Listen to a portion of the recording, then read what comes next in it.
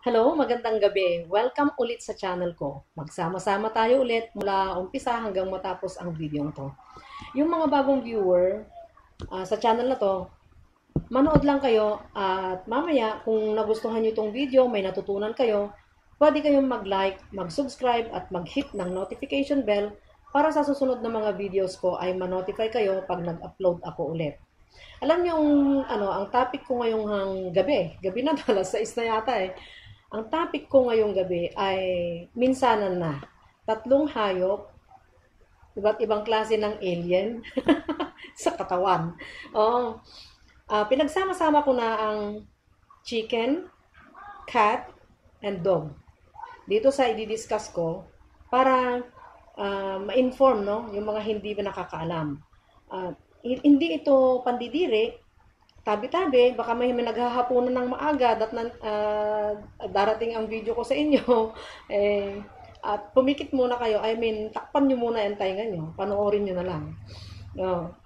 Hindi, tatlong, tatlong hayop, itong chicken, uh, uh, pusa at saka aso. Ang, napi, ang topic ko ngayon ay tungkol sa mga uh, iba't ibang worms na nandun sa katawan ng chicken, ng manok. Is, uh, hindi hindi specifically sa layer lang, kundi lahat ng uh, purpose, uh, lahat ng manok na kung ano yung purpose para sa katawan nila, kung egg, uh, egg layer, uh, sa egg purpose sila, meat purpose, or uh, fighting uh, purpose, yung mga fighting, no? So, kahit mga native na mga manok, yon Lahat ng mga yan, may iba't ibang klaseng mga worm. At ang common worms na nandyan sa kanila ay yung roundworm, capeworm, gizzard worm, sickle worm. Although meron din mga ibang worms na nandyan, kagaya ng lungworm. Meron yan. Hmm, ano pa ba? Meron yung tapeworm. Pero yun yung apat na yun, yung pinaka-common, yun yun yung mga uh, nandyan. No? At ang mga yan, sila ay nagko-contribute ng kung layer ang purpose, no? kung sa egg type, nakaka-contribute ang mga yan ng pagbaba ng egg production kung hindi na deworm ang manok mo. At kung, kung bago pa pa, syempre yung mga dati, alam na nila yon nagde-deworm ang mga yon. Pero kung bago kang uh, uh, farmer, bago kang egg producer, mag ano, mag-start ka na mag-deworm ng manok, mo regularly. Kasi para matulungan na uh, lumakas ang katawan ng manok at saka uh, mapataas ang production mo. Itong mga worm na to, um, hindi hindi na transfer minimal no minimal ang possibility na ma-transfer sa tao kaya yung mga kaya yung mga kumakain ng ano, eh, 'di ba, yung kasi yung yung isaw na tinatawag natin na street food, ano 'yun eh? Uh, sa sikom ng sikom ng manok yun. Yung parang pouch like na uh, pouch uh, like na nandun sa uh, baba ng abdomen ng ano ng digestive system ng manok. So, yun yung isaw na yun, yun yung sinasabi ko na may sickle worm. Sik, uh, sikum, may sickle worm. Ah, uh, kaya kung hindi nalinis masyado yung ano, hindi man nat kung kung ano ha, kung hindi man mata-transfer yung worm sa iyo, siyempre eh 'di ba? Iisipin mong may worm 'yon. Pero siyempre, kung masarap talaga ang isaw, bakit nga hindi? hmm. Tapos, ah, uh, itong itong pusa, 'yon. Itong pusa naman, kaya ko din pinagsama-sama itong tatlo kasi para mapag, uh, mapag-compare natin no, yung mga worms nila. Itong pusa, may may worm din mga daladala yan. At ang common din yun, yung kagaya na, na roundworm, yung hookworm, tapeworm, meron sila. Kaya parang aso din yan. May hookworm, uh, may may ano, may roundworm, may may tapeworm. So, ang pagkaka ang pagkakaiba ay hindi pala. Wait muna. Mamaya 'yun, suspense. Itong pusa, 'di ba kinakatabi-tabi natin?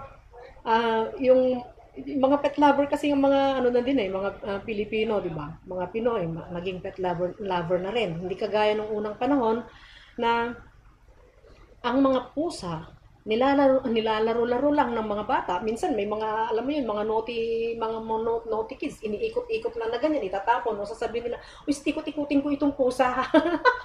Ikot, hindi, na- nalihis na ako. Ikot-ikutin ko itong pusa ha, mamaya tingnan mo. Ano yan, pupu yan. Para yung ginagawa din sa mga manok na native, may mga naughty boy talaga na, ano, mga naughty kids na huhulihin nila yung native na manok, tapos, ah, ikot-ikutin ko, tingnan mo ha, pupu po yan. mga ganun lang. So, yun ang, ano, at saka kung minsan, ah, pinagmamalupitan mga pusa noon, nung mga unang panahon. Pero, syempre, as time goes by, nagiging mapagmahal na sa hayop, ang mga, mga, to, mga Pinoy, ah, natuto ng, ano, i-include sa pamilya yung pusa, aso, at to the extent na katabi na nila sa pagtulog, ganyan, ah, akap, hinahayaan nilang, alam mo yun, yung hinahayaan nilang halik-halikan sila, ganyan, sa lips, oh, ah, oh, okay naman, kasi mapagmahal nga, no? Pero, may mga, may mga sakit pa rin na mga daladala ang mga yan, may mga, may mga bulate na pwede nilang i-shed, ganyan. So, kung ang pusa mo ay indoor, um, minimal lang siguro yung uh, uh, yung tendency na na yung tendency na makapag-shed siya ng ano, ng makapag-shed sila ng larva ng worm, no? Or kaya adult worm. Ah, dahil siyempre pag indoor, gagawin mo lahat ang makakaya mo na ah, magawa lahat yung um, vet, yung mga veterinary practices, no? Yung mga or mga program para sa kanya, yung vaccination program, um, medication program niya, including deworming program, uh, yung grooming, ganyan. So, magagawa mo yon. Pero kung ang pusa mo ay mahal mo, pero nandun lang nandun siya sa labas na ah, hindi siya makakapasok sa ano, ah, tendency is lalabas-labas yan, nakaka-contract siya ng mga larva ng worm sa, sa lupa, papasok siya, dala-dala niya, ikaw naman, dala, ah, mahawakan mo, hindi mo alam, naisubo mo, yun ang masama. Kasi kung hindi deworm ang, deworm ang pusa mo, kung hindi mo napurga, yung na-shed niyang larva ng worm, kahit anong worm yan, iyo, ah, pwedeng, yun ang ano, pwedeng malipat sa tao. Kahit yung aso. Yung aso, ah, ano din yan, yung worm niya, pwedeng malipat sa tao. Ah, yun ang pagkakaiba. Sa chicken is, sa chicken kasi, species specific. Yun, ano? Ibig sabihin, species specific ang worm nila. So, ibig sabihin, chicken to chicken ang lipatan ng ng worms nila. So, dinideworm natin ang mga manok para sa ikabubuti ng katawan nila at saka para sa ikagaganda ng production nila. Pag-convert nila sa feeds na kinakain nila, uh, ko-convert sila ng uh, magkakaroon sila ng good conversion uh, of feeds into meat, good conversion of feeds into eggs. Ganon. O, yung pusa naman, pupurgahin natin sila para safe pareho. Safe sila, safe tayong mga tao na nag-aalaga sa kanila, lalo na sa loob ng bahay. Lalo na yung mga tumatabi, kina, itinatabi, ano yun, uh, kinaka, i, i, tinatabi sila, sinasama sa pagtulog sa bed, ba? Na uh, as in parang pamilya na talaga, parang kapatid, anak, ganyan. Oo. Uh, sobra na, sa sobrang pagmamahal katabi, pati aso, ganyan. And pero tandaan natin na kahit mapaliguan ang aso, kahit ma, kahit mapaliguan ang aso, ang pusa, kung ang environment nila kung halimbawa nakapag-shed na sila ng larva ng ng worm no, nandiyan pa rin matagal. Uh, at saka yung mga uh, mga larva ng worm no, nagtumatagal yan ng kahit years. 'Yun. Kaya uh, regular dapat na dine-deworm. Oh.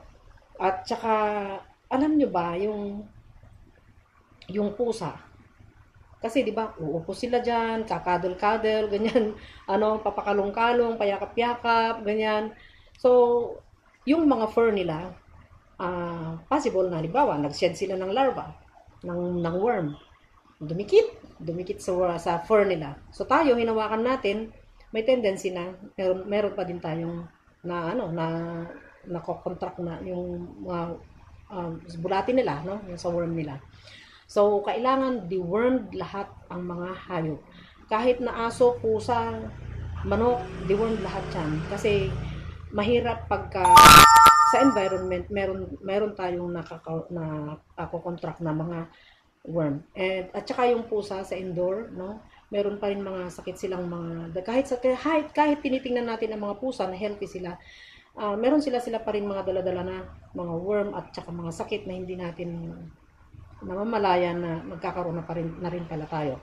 Ganon. So, ah, ang video to, ang purpose nito is to educate yung mga pet lovers at saka yung mga bagong um, um, mga bagong owner ng ano yung ah, egg, egg producer or baka basta yung mga may alagang chicken. Oo. Minsan kasi din ginagawang pet yung chicken, di ba? Pinapapasok din yung sa bahay, yung mga ano. Pero yung iba syempre, ah, hindi. Pero laging hahawakan yan, di ba? Oo. Lalo na yung mga panabong, hawak-hawakan mo, yun pala may worm.